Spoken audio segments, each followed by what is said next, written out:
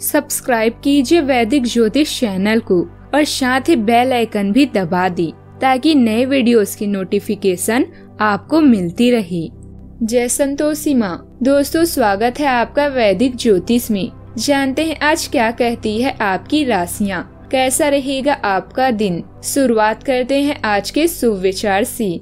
बचपन और बुढ़ापे एक जैसे होते हैं। दोनों को जवानी के सहारे की सख्त ज़रूरत होती है। किसी व्यक्ति की कोई बात बुरी लगे तो दो तरह से सोचो। यदि व्यक्ति महत्वपूर्ण है तो बात को भूल जाओ और अगर बात महत्वपूर्ण है तो व्यक्ति को भूल जाओ। हर समस्या का समाधान होता है। जीवन अगर मुश्किल है तो आसान भी होता है। ज़िंदगी में उस लेवल तक पहुँचो जहाँ लोग तुम्हारी कद्र करें और तुम्हें खोने से डरे।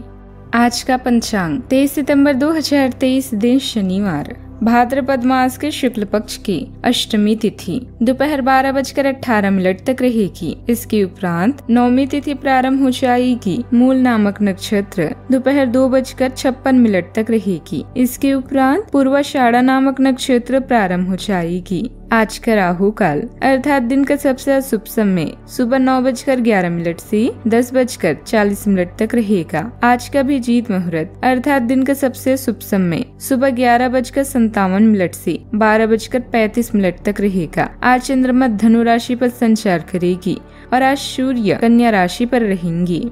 मेर राशि तेईस सितंबर दो हज़ार तेईस दिन शनिवार, रिश्तेदारों या साथी के साथ मतभेद आपको परेशान कर सकते हैं। आप आर्थिक हानि को लेकर चिंतित हो सकते हैं। आज भविष्य की योजनाएँ बनाएँ, भविष्य में समृद्धि और शांति के लिए कानूनी या व्यवसायिक व्यवस्था अभी कर दें। अपने काम में निपुणता आपको भीड़ में भी अलग बनाती है। अपने प्रियजनों और सहकर्मियों को प्रोत्साहित करें, यह समय मौके से भरा हुआ है और शुरुआत के लिए बढ़िया है। दूसरे लोगों की बातें सुनना और परिश्रम करना परिवर्तन लाएगा। दुनिया का सबसे खूबसूरत पौधा विश्वास का होता है जो ज़मीन पर नहीं, दिलों में उगता है। आज के दिन हर मामले में आपको सफलता देने वाला रहेगा। लाभ के मार्ग प्रसिद्ध होंगे। अगर किसी को धन उधार दिया हुआ है तो आज उसकी वापसी की उचित संभावना है। घर के लिए किसी खास वस्तु की शॉपिंग भी संभव है। किसी धार्मिक स्थल पर थोड़ा समय व्यतीत करने से सुकून मिलेगा। खुद को प्रेरित रखेंगे तो बड़ी दिक्कतें भी दूर हो सकती है। आपका नज़रिया अन्य लोगों को आसानी से समझ नहीं आएगा। ज़रूरी काम अकेले ही पूरे करने होंगे, मित्रों के साथ के संबंध सुधरेंगे। नए काम का अनुभव जीवन में बदलाव करने के लिए महत्वपूर्ण साबित होगा। पार्टनर से अधिक काम को महत्व देने से विवाद हो सकता है। परिवार के बुज़ुर्ग लोगों की सेहत का ख्याल रखें। सावधानियाँ। घर अथवा व्यवसाय से संबंधित कोई भी फैसला जल्दबाजी में लेने से बचना होगा। किसी भी बाहरी व्यक्ति का हस्तक्षेप अपने परिवार पर न होने दें। योजनाएँ क्रियान्वित करने से पहले किसी अनुभवी का मार्गदर्शन लेना ज़रूरी है? बच्चों की गतिविधियों पर पूरा ध्यान दें। बात करते हैं लव लाइफ की। परिवार से संबंधित संघर्षों का सामना करने के लिए अभी समय सर्वश्रेष्ठ है। चाहत की से घबरा रही हैं तो खुद पर विश्वास रखें। और यह सोचे कि आपके जैसा इस दुनिया में और कोई नहीं है। अगर आप सकारात्मक रहेंगे तो वो सब मिलेगा जिसकी आपको इच्छा है। नई शुरुआत के लिए आज का समय बेहतरीन है।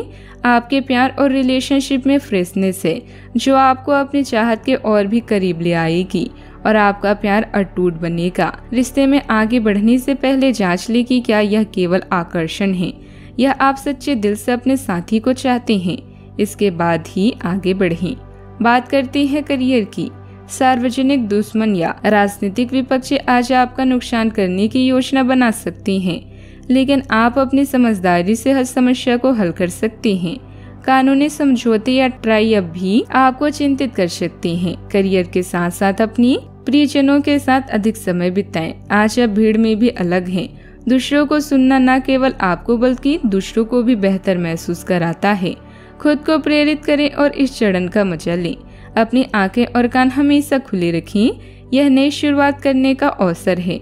याद रखें, अगर शुरुआत अच्छी हो तो समझे कि आधा काम पूरा हो गया।